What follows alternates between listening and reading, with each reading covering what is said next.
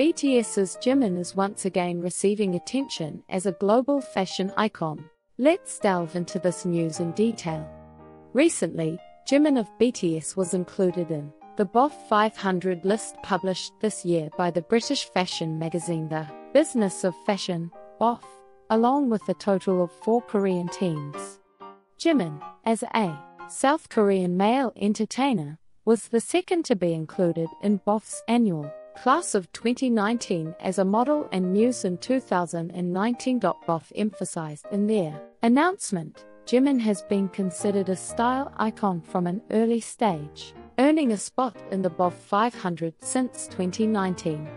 The BOF 500 is a list that annually selects 500 influential figures in the global fashion industry, including designers, executives, journalists, models, and celebrities, based on in house data research and analysis.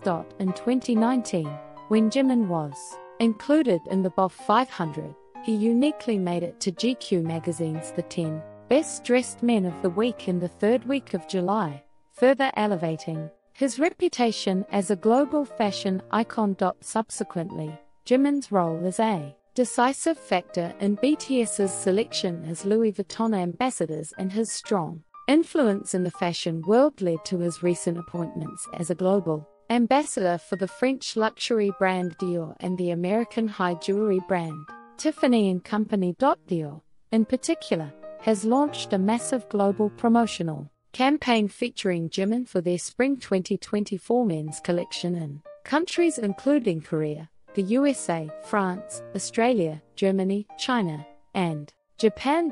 A member of BOF 500 drew attention by posting Jimin's Dior campaign photos on their social media. Additionally, this year alone, Jimin graced the covers of numerous fashion magazines worldwide, including Vogue, W. Harper's Bazaar, GQ, Elle, and Esquire. These magazines collectively posted birthday wishes for Jimin on social media in October.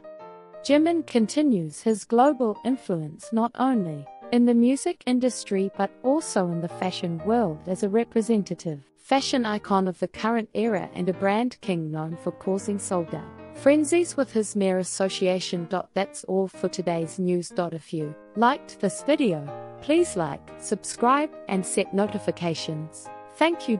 Goodbye.